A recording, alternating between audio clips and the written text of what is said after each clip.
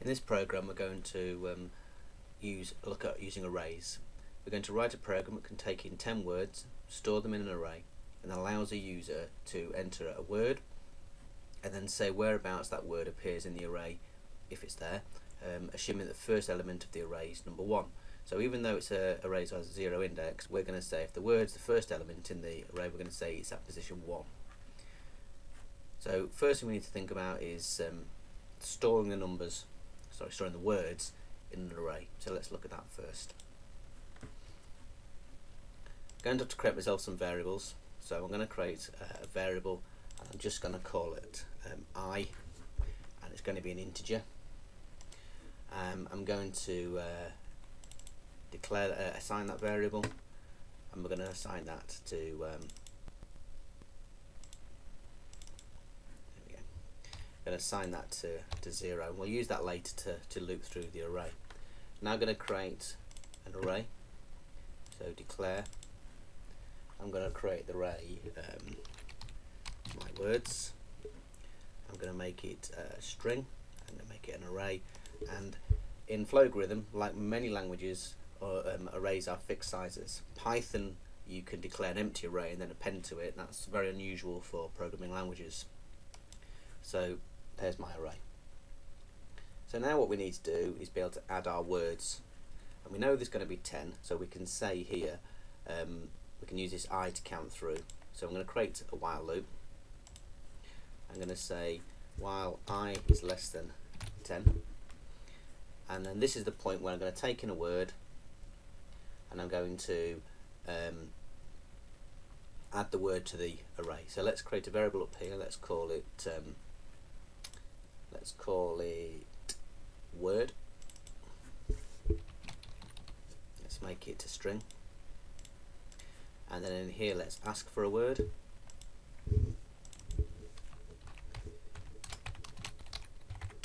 Please enter whoops, word. And take in an input.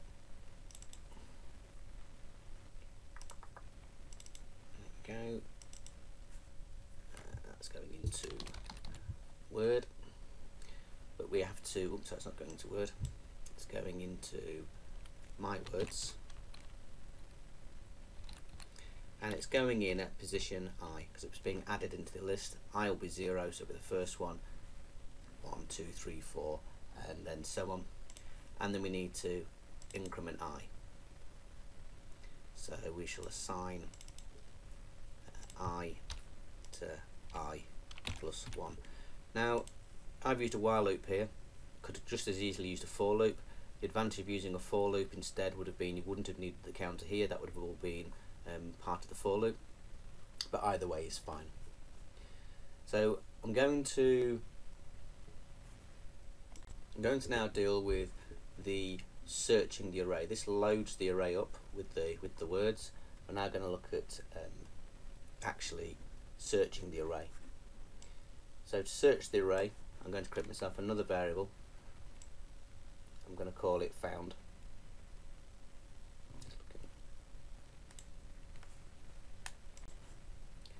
So I'm going to declare my variable. I'm going to do them down here so we can see them.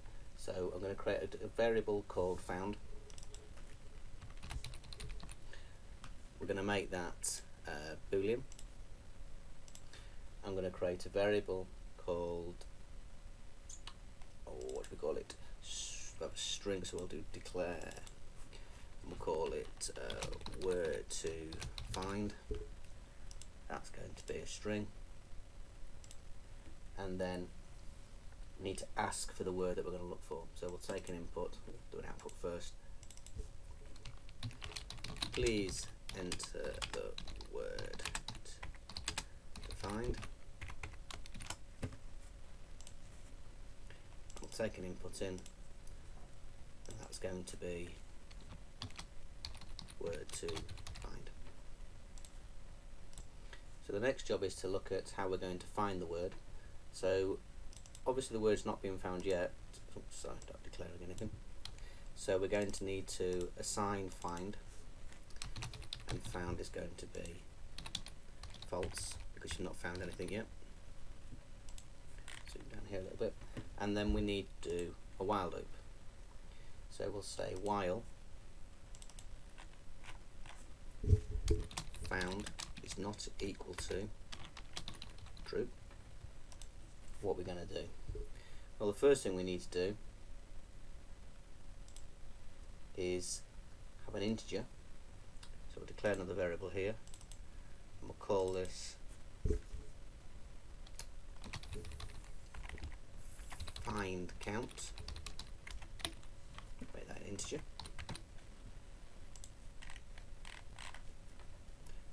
And we'll have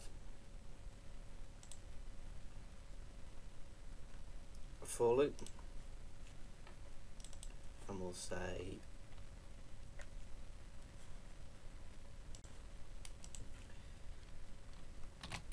find count starts at 0 goes to 9 increasing by 1 we'll have in here we'll have an if statement. And we'll say if what do I call it? My words at position find count is equal to word to find then we need to output found at position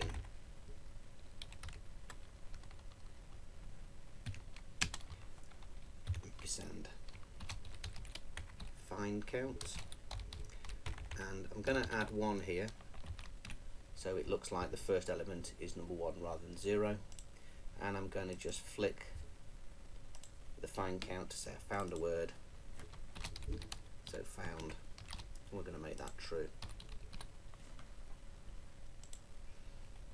Okay so that should be it. So let's have a have a look to see if this works. We're loading up the array here. Got the words in. We ask for the word.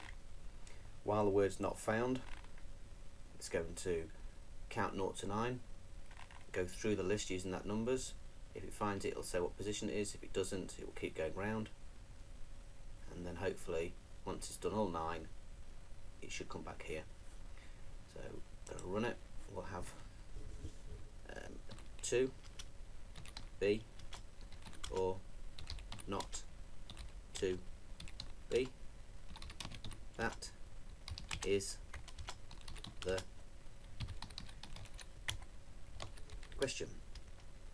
Enter a word to find. I'm going to look for the word to, and it found word to at positions 1, 2, and positions 5.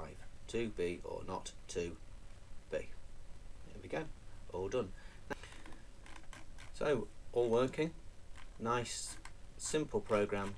Load up an array, search through the array down here, output the results. Thanks for watching. There'll be another video shortly.